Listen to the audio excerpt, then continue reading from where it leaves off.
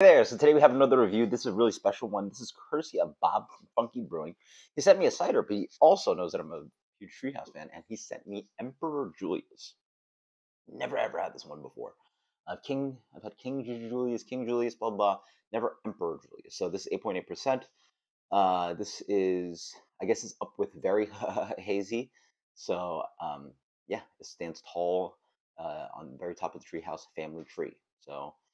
Uh, I'm actually curious about the story. Like, what makes this different than like King Julius, or why is it Emperor Ju- or Emperor Julius? Curious if there's Emperor Julius.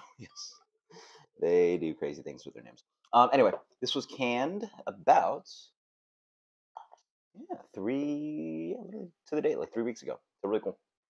Uh, beer is very hazy. Yeah, actually looks not the prettiest appearance. Like it doesn't look like it's three weeks fresh. I mean, uh, it's just like there's always like a little bit of like like these hazies like a little bit of like oxidation just like completely like shifts their color. So this one has like a little bit of this kind of like darker hue to it that I'm not really used to, but it's completely murky, murky, hazy. Um, like off white head and has this lighter kind of gold color, but yeah, that's murky as all hell. So see how this guy turns out. Wow, yeah, that smells like fruit juice in glass. Well, that too, but also that like it, it it still has like it is very uh, fruity and, and, that's great but it, it, but it does have that kind of little bit of like oat wheat thing you know that i get from a lot of uh, hazy ipas that kind of just like um, doughiness that kind of like light light light like the most um, un- uncooked kind of like dough uh, grain products that you're looking at right so like yeah um, there's definitely uh, some significant amount of that kind of like vegetable thing um, like you know I sometimes call it like just blended grass. Like there's just this vegetal green um, uh, green character. I mean, the hops are literally plants, right? So it's just like leafy and green and grassy. Um, but yeah, there's definitely notes of like um,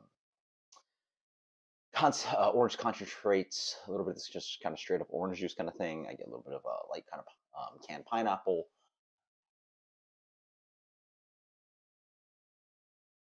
Pretty nice. And then there's a little bit of like citric, yeah, more of that citric bite in there, uh, bite in there. So I get a little bit of like white grapefruit. Cheers. Mm, wow. Um, very creamy, very saturated.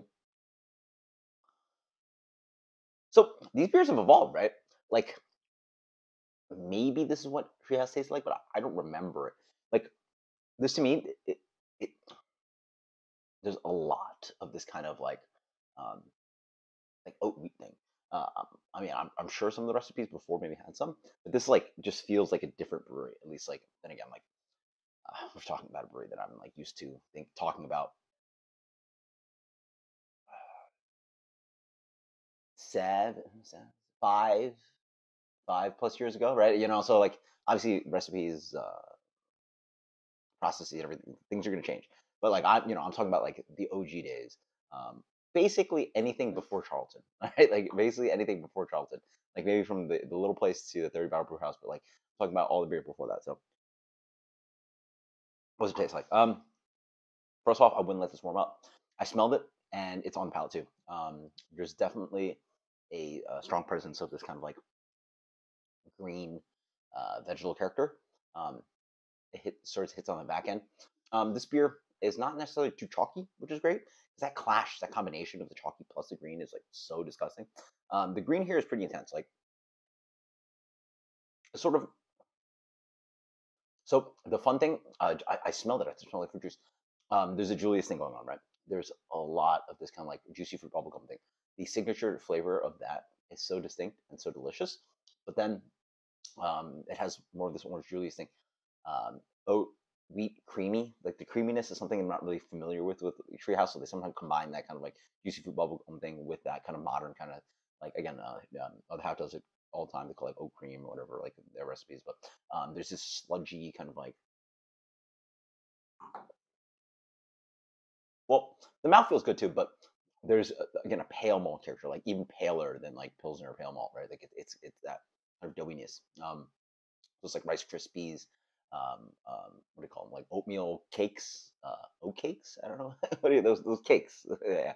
Um, yeah, like you, you eat one, like you're super, like you know, mouth's all dry. Um, so all that kind of like uh, Wonder Bread, all the kind of like white grain character, and the fruitiness is quite nice. Like it, along with the juicy fruit, you get some of that tropical uh, character. You get like mango juice, um, orange, but then in the back end, it, it, it, it honestly one of the largest notes about this beer is the vegetable character. It is so grassy green. It, it's it, it's literally stuffing like you know mouthful of leaves in your mouth. Um, then again, I guess that's salad. So, but it's a different kind of like the fruitiness and juicy fruit flavor is really intense and really delicious. Um, the creaminess is really uh, tasty.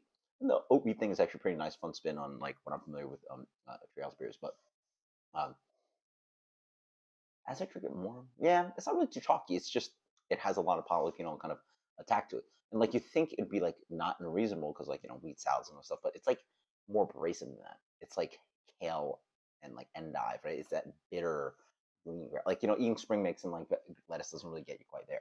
It's a very leafy kind of uh, palate um, characteristic. So, um, is this does it live up to what I expect?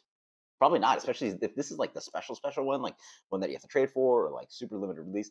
Like, I would hope that like some of the other releases, or at least the base ones, don't have this intensity of just. But I think that's part of the issue. Like, you're, you're trying to make it like Emperor Julius or massive, massive, massive, um, and you're just gonna pump up a lot of hops in there, and then like I guess the side effect of that is just this kind of like green polyphenol kind of thing.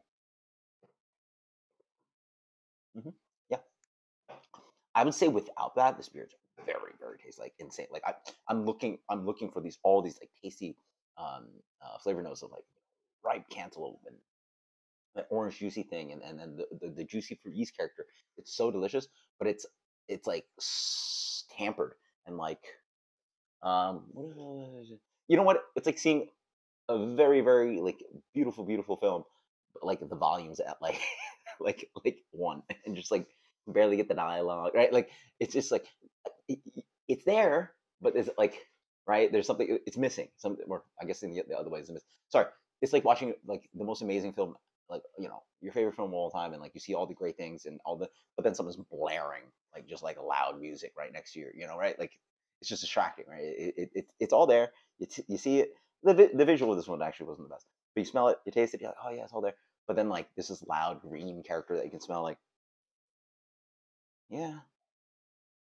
I mean, I smelled it on first take, but then it's, it's definitely like attacking the palate. So what do they have? Um, uh, opaque orange color, uh, most beautiful. This is not the most beautiful. I mean, you guys tell me. Is that the most beautiful hazy beer you've ever seen? I don't know. It's very hazy, very murky, but it's not as bright and like like glowing as I uh, tend to like in some of these um, other beers. Uh, gives off notes of rich orange juice, yes. Orange starburst, good, good. Melon high chews, yeah. I was getting this like really nice kind of like cantaloupe, but like even like call out like starburst and like Hi-Chews, which are like you know branded, unless like trademark candies, but yeah, whatever thrown on there. Overripe mango, so good tasting notes, good tasting notes. I mean, I, I think I think you taste those, but and then they also say like comma, um, and a lot of grass. oh, do you know what it is? Um, I also get this in a lot of uh, beer. Um, it's a smack of geranium too. There's it's it, it it's like eating rose petals and potpourri. It's like floral and like so it's not only like eating like greens and grass and, leaves, but it's also like eating like flower petals. Like that geraniol so intense. So um, not slightly, very distracting, very distracting. Um, where would I put this? you know, I bet I bet the rating on this is insane on Untappd. It's like four, four, four, four, four, five, four, six, or something. But um, I would definitely have this colder. I would definitely share it. It's definitely not a 16 ounce beer, um, but it's you know has this great characteristics to it. Uh, hard to say. You know, it's hard to be it's hard to be excited about hazies when a brewery like Treehouse with the most special limited release. That's what these beers taste like. I, I you know, I, maybe I'm just over hazies. Um, 87. 87. Wow. 87. I almost pulled out. 87. Not that I hate the beer, this beer that much, but 87. Yeah. Um, very good. I mean, like, has all these like great characteristics to it, but then like again, there's just blaring flavor, sort of like distracts you. So very, very good. Again, without that, man, this would be a dinger. This, this is definitely an A plus territory. But then like, again, you're losing. imagine like this beer being possibly a 97, 98, 99, and then it goes all the way down to 87 because again, you can't get rid of that flavor. It's it, it's it, it, it sits on your palate. So very interesting. Thank you so much, Bob. I really appreciate it because again, I give it a B plus, but like that's not the point. It, it, it's the ability to even like taste famous beer like this. Like I've never had Emperor Julius, and then like being able to revisit Treehouse. Like, it's been. I haven't had Treehouse in like a year or two, right? Like, what does it taste like these days? And like, unfortunately, I don't really trade and blah blah. So like, it's nice to actually like get a slice of like arguably one of my one of my favorite breweries. You know, like at least in my memories, um, a slice of like, hey, this is where this brewery's at at this moment. So really fun stuff. Thank you so much, Bob. Later.